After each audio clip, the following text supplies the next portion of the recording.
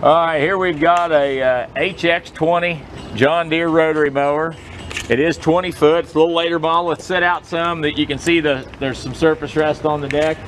But uh, in general, that decking looks pretty darn decent. We hooked it to the tractor and unfolded it. I'm gonna start it up for you. Looks like somebody's put a, uh, looks like they put a cylinder on this. Um, I will tell you one thing, uh, it's got six tires across the back that are spring loaded. And then uh, one thing I'll say is these are a little bit spraddle legged, these outside. You know, this is where the, all the weight rides on them. So they're both like that just a little bit. I don't think it's going to affect the cutter any, but it, it's there. I want you to know about it. Uh, so it's a little bit, a little bit um, spraddle legged when it's, when it's down on both of the outside ones, just a hair. It looks like it has airplane tires on it.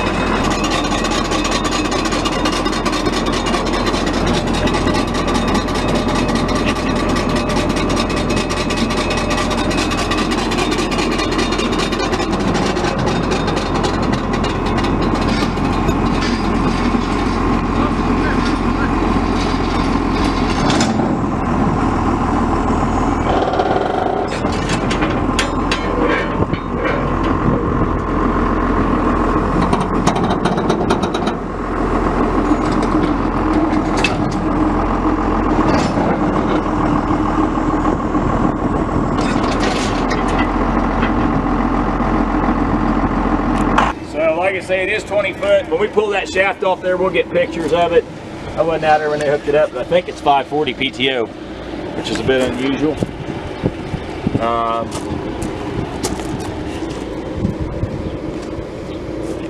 like I say, the decking's in good really in decent shape. Just needs some paint.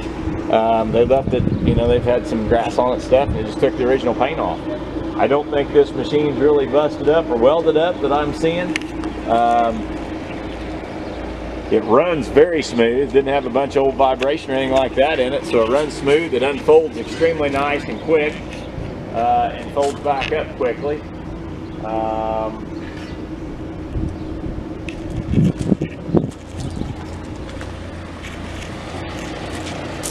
it does have stump jumpers, and uh, it is going to sell absolute on Tractor House Auction.